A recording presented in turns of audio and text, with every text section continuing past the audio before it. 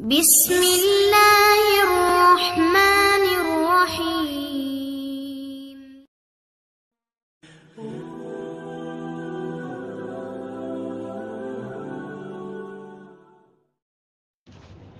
السلام عليكم ورحمة الله وبركاته. الحمد لله رب العالمين. والصلاة والسلام على رسوله الكريم نبينا محمد وعلى آله وأصحابه أجمعين. وعلى من تبعه بإحسان إلى يوم الدين أما بعد அன்பிற்கினிய மாணவ மாணவிகளே தஷஹுத் அத்தஹியாத்தில் ஓத வேண்டிய துவாவை குறித்து சில விஷயங்களை நாம் தெரிந்து கொண்டோம்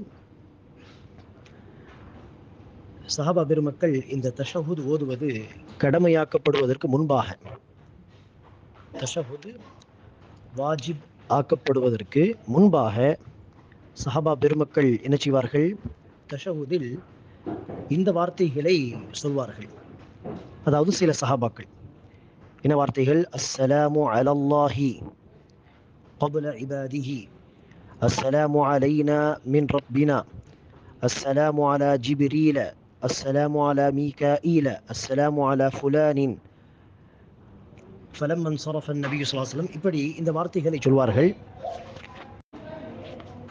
இந்த வார்த்தைகளில் அல்லாஹ் மீது சாந்தி உண்டாகட்டும் ஜிப்ரில் மீது சாந்தி உண்டாகட்டும் மீகாயில் மீது சாந்தி உண்டாகட்டும் என்று மலக்குமார்களுடைய பெயரை சொல்லி சொல்லி குறிப்பாக அல்லாஹ் மீது சாந்தி என்கிற ஒரு வார்த்தையையும் பயன்படுத்தி வந்தார்கள்.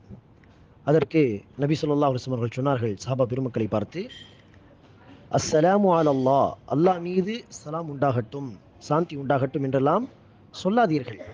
இன்னல்லாஹ ஹுவஸ்ஸலாம் ஏனெனில் அல்லாஹ்தான் சலாம் உடையவன் சாந்தி உடையவன் சாந்தியை பிறருக்கு தரக்கூடியவன் அவன்தான். அவன் மீது சாந்தி உண்டாகட்டும் என்று சொல்லக்கூடாது.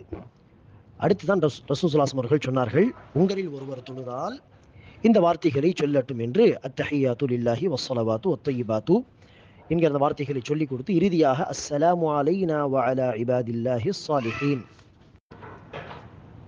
எங்கள் மீதும் அல்லாஹ்வின் நல்லடியார்கள் மீதும் சாந்தி உண்டாகட்டும் என்கிற அந்த வார்த்தை இறுதியில் வருகிறது. எனவே இந்த வார்த்தை சொன்னால் எல்லா நல்லடியார்களுக்கும் வானத்திலும் பூமியிலும் அந்த வார்த்தை பொருந்தும்.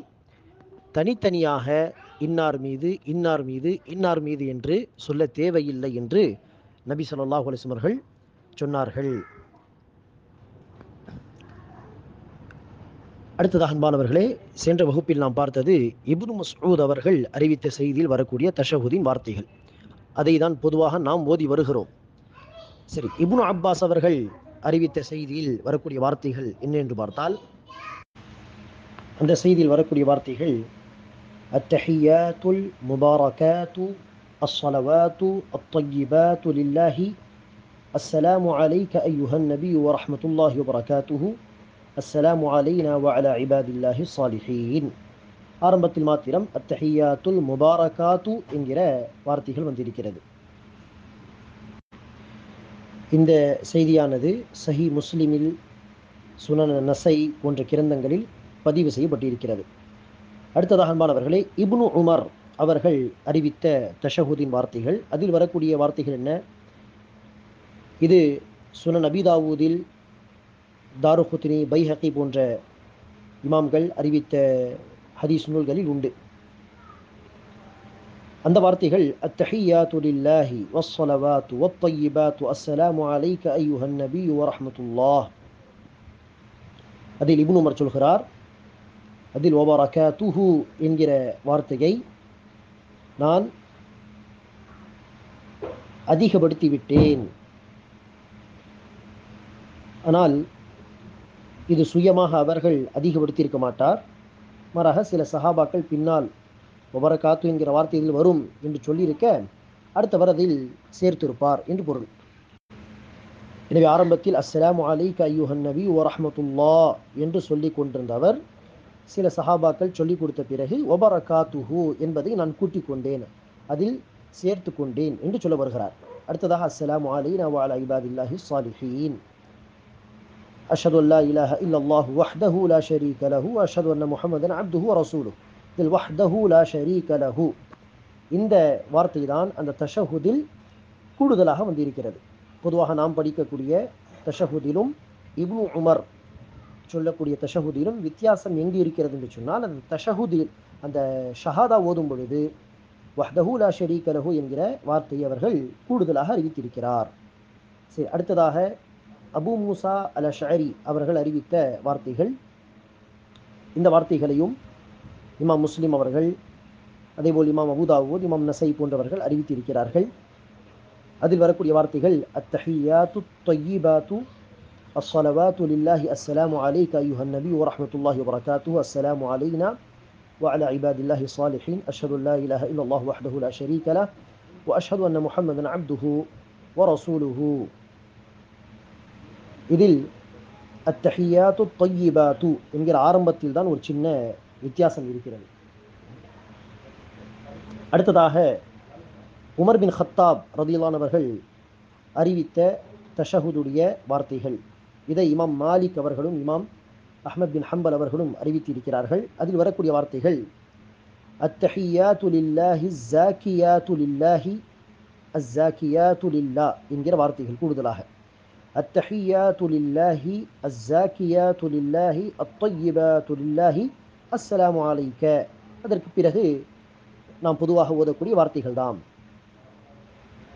அதற்கடுத்ததாக ஆயிஷா ரதியல்லாஹு அன்ஹா அவர்கள் அறிவிக்கக்கூடிய வார்த்தைகள் இதை இபுனு அபி ஷைபா அவர்கள் தன்னுடைய நூலிலும் இமாம் பைஹக்கி அவர்கள் தன்னுடைய நூலிலும் அறிவித்திருக்கிறார்கள் அதில் வரக்கூடிய வார்த்தைகள் التحيات الطيبات الصلوات الزاكيات لله السلام على النبي அதற்கடுத்து இபுன் மசூத் அவர்கள் அறிவித்த செய்தியில் வரக்கூடிய அதே வார்த்தைகள் இப்படி அன்பானவர்களே பல சஹாபாக்கள் ஒரு சின்ன சின்ன வித்தியாசத்தோடு இந்த அத்தஹியாத்துடைய தஷஹுதுடைய வார்த்தைகளை அறிவித்து இருக்கிறார்கள் இதில் குறிப்பாக இந்த அஸ்ஸலாமு அலைக ஐயுஹன் நபி